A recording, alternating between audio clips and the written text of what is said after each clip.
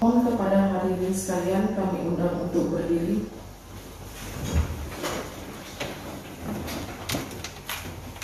Menyanyikan lagu Indonesia Raya.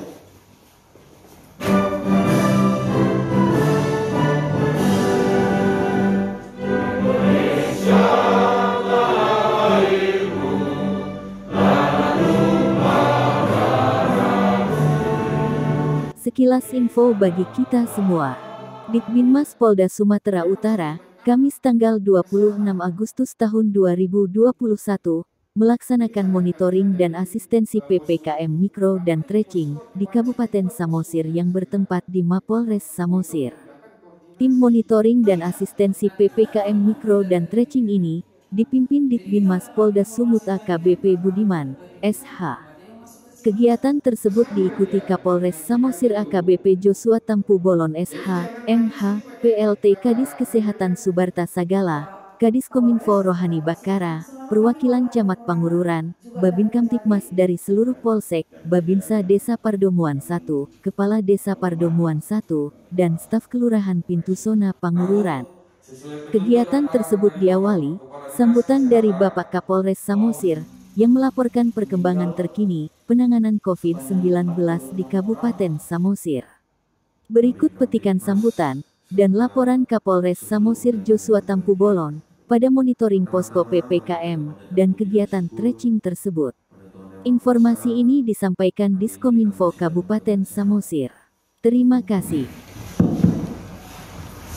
Assalamualaikum warahmatullahi wabarakatuh. Salam, selamat pagi, salam sejahtera bagi kita semua.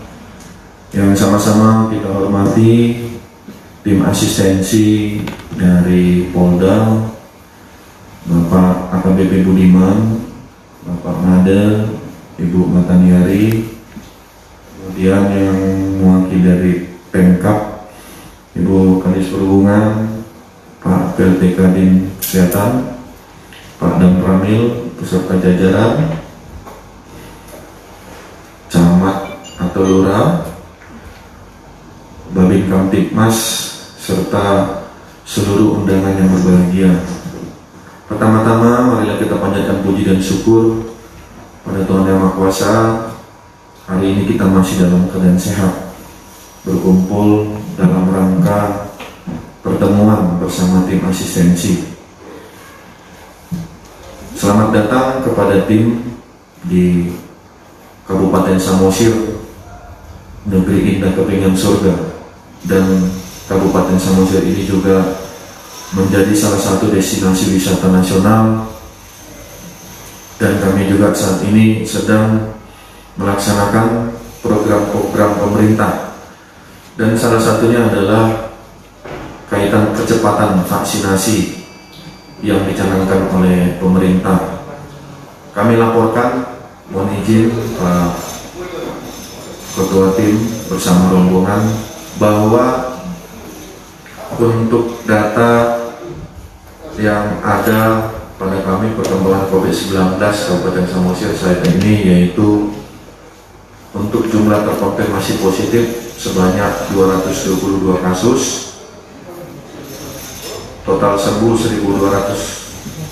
1274 kasus meninggal 46 kasus.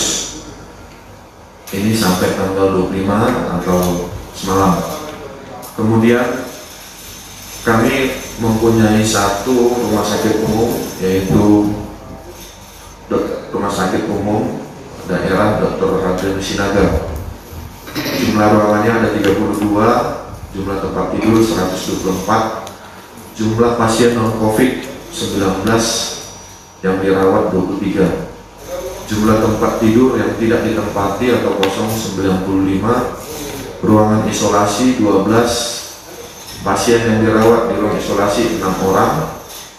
Ketersediaan oksigen tabung besar 62 tabung tabung kecil 15 tabung bor 20% atau 6 per 30 benar ya ibu? Ada ibu? Di sini nggak datang ya ibu?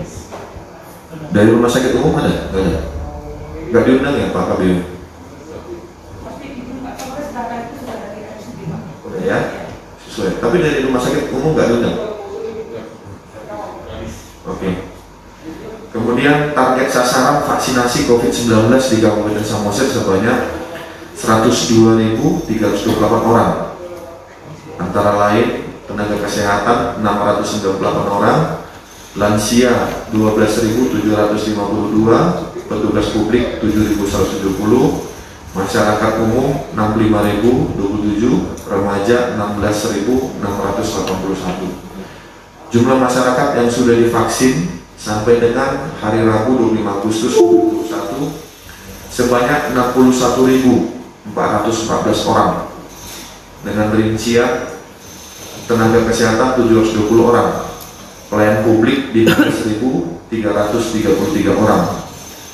Ini terdiri dari TNI, Polri, Kejari, Lapas, ASN, Rumah Sakit Umum, toko masyarakat, pelayan publik, guru, pedagang, transportasi publik, pelaku pariwisata, pegawai pemerintah, lansia, masyarakat rentan, masyarakat umum, remaja, kaum disabilitas atau kelemahan mental, dan ibu hamil.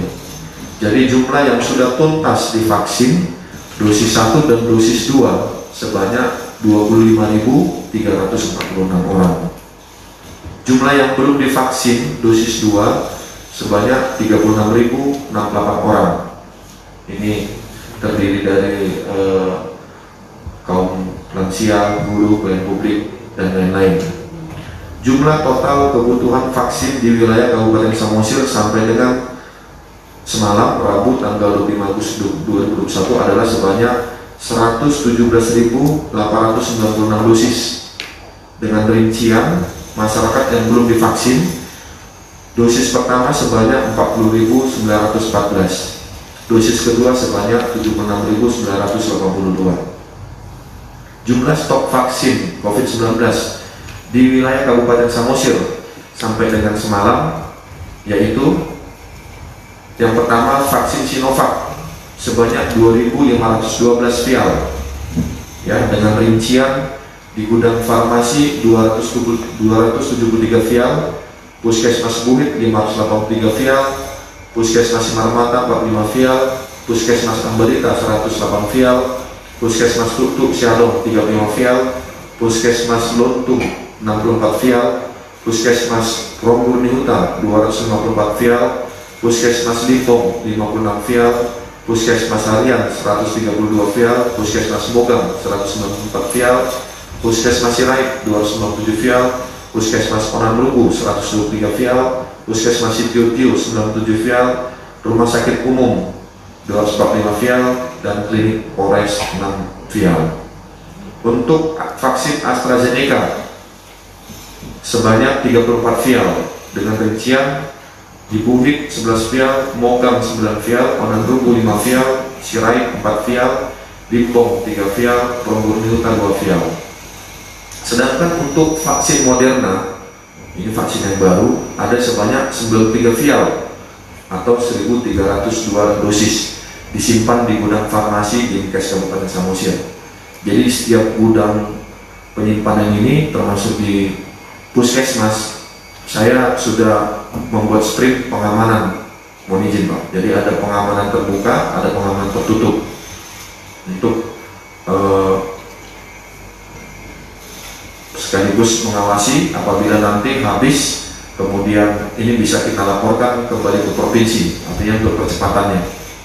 Ketersediaan alat rapid antigen di Dinkes Kabupaten Samosir dan seluruh puskesmas se Kabupaten Samosir yaitu di Dinkes Kabupaten Samosir sebanyak 4.860, Puskesmas Buhik 247, Rongguniuta 60, Simarmata 50, Ambarita 107, Tutuk Siadong 63, Lotung 170, Limbong 42, Harian 63, Mogang 91, Sitio 17, Sirait 247, dan Puskesmas Onang Rugut 22. Kemudian kami juga mempunyai uh, isoter atau tempat isoman terpadu yang dibuat di gedung BLK yang akan digunakan untuk pasien-pasien terpapar COVID. Ya, uh, saat ini untuk pasien yang ada di isoter ada nggak? Belum, belum ada. Kami laporkan belum ada. Jadi isolasi mandiri Ada ya, ya? Iya, ada Pak. Jadi yang isoter memang belum ada, tapi untuk yang isoman kita sudah ada. Dan untuk personil kami yang terpapar COVID, ya pertama itu sebanyak 15, sekarang tinggal dua, dua personil yang saat ini sedang melaksanakan isoman mandiri. Bahwa kegiatan percepatan vaksin ini kemarin eh, ada bantuan 50.000 ke Pemkap Kabupaten Samosir. Saat ini di masing-masing puskesmas sedang dilaksanakan kegiatan vaksin. Termasuk juga kami Polres Samosir dari hari Senin tanggal 23 sampai tanggal 31 nanti membantu Pemkap dalam hal Dinkes untuk melaksanakan vaksinasi. Jadi kita lihat eh, pagi ini juga masyarakat sangat antusias untuk melaksanakan vaksin dan kemudian juga tim vaksinator kami dibantu dari Dinkes ada dua orang, jadi saat ini empat dan kemudian semalam saya bersama istri sudah mengumpulkan istri-istri polisi atau bayangkari yang mempunyai latar belakang tenaga kesehatan, bidan, perawat. Harapannya bahwa mereka nanti akan ikut membantu sebagai tim vaksinator, sebagai tim administrasi, sebagai tim yang mengukur tensi dan lain-lain. Puji Tuhan, alhamdulillah mereka sudah mau. Kemarin saya sudah kumpulkan di sini dan dalam waktu dekat harapan kami ketika nanti vaksin ini cepat bisa diberikan kepada masyarakat sehingga nanti Pemkap Kabupaten Samosir bisa meminta kembali ke provinsi untuk bisa kita uh, memberikan vaksin kepada seluruh masyarakat kabupaten. Harapannya adalah selain herd immunity komunal untuk juga pemulihan ekonomi daerah. Karena sangat terasa saat ini di Pulau Samosir ini dengan uh, vaksinasi yang sudah diberikan ini masyarakat yang notabene bertani, kemudian juga pedagang, ya mereka-mereka ini adalah ma masyarakat yang selalu di lapangan. Contohnya seperti di Kabupaten Samosir di Pangururan ini setiap hari Rabu itu ada onan namanya pak. Jadi onan ini interaksi antara manusia masyarakat sering ini uh, uh, terjadi sehingga kami dari tim Satgas COVID-19 dan Eh, personil TNI, Polri, uh, Satpol PP melaksanakan operasi justisi dengan sasaran masyarakat-masyarakat atau pedagang yang tidak mengikuti prokes. Nah, mungkin ini yang kami laporkan kepada tim. Mohon bimbingan dan arahan. Kiranya uh, dengan pertemuan ini kita juga semua yang hadir di sini bisa bekerja sama karena kita tahu bahwasannya COVID-19 ini masih ada dan kita berharap dengan kedatangan tim ini memotivasi kita sehingga kita lebih giat lagi dalam percepatan vaksin. Sebelum saya akhiri, saya memohon maaf kepada tim ataupun para undangan kami di sini apabila ada uh, penerimaan kami yang kurang baik ataupun pelayanan kami. Kiranya kita tetap sehat dalam lindungan Tuhan dan semua kegiatan kita ini diridhoi oleh Tuhan sehingga Kabupaten Samosir ini bisa uh, mencapai target yang diharapkan oleh pemerintah yaitu untuk uh, memberikan herd immunity komunal kepada Kabupaten Samosir. Terima kasih. Wassalamualaikum warahmatullahi wabarakatuh. Horas.